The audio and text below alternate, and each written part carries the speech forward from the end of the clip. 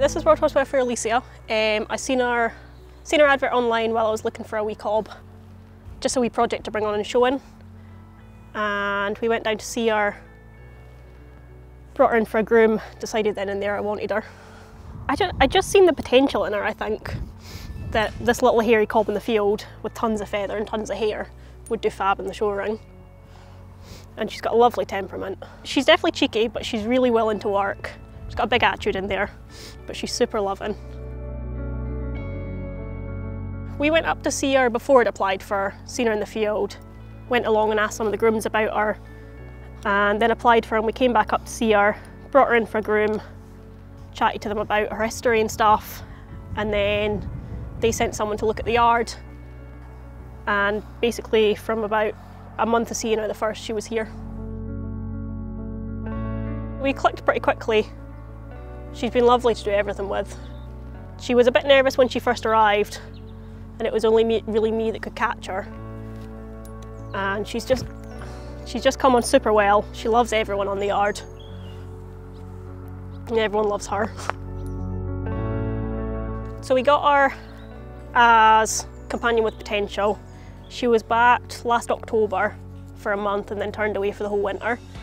She was turned away for about eight months and then I brought her back into work a couple of months ago and just in walk and trot, taking her out. She's been out showing in hand.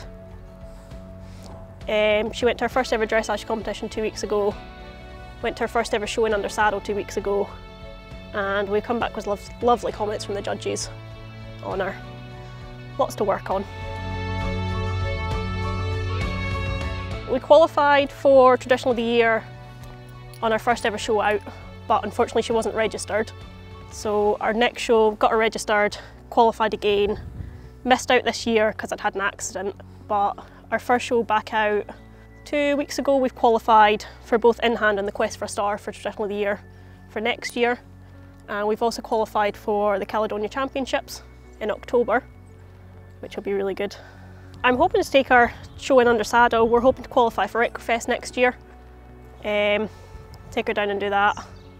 Probably in hand, but under saddle would be great. Get her to do some dressage. She's not a big jumping pony. Maybe a wee bit of workers, if she decides she likes it. Basically, just whatever she wants to do, we'd love to do. If she just wants to be a hacking pony, that's all we'll do. It would be really nice to get her out doing, showing her off, showing what rescue ponies can do.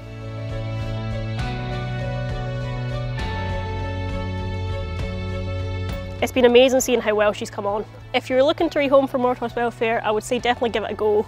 They're lovely and supportive, um, they'll answer any questions you've got. They'll try and suit the horse that you're looking at for you and they'll come down and check on them, answer any questions. We've always got the uh, bonus that she can go back if she needs to and she'll get another really good home and they'll make sure she's looked after for life.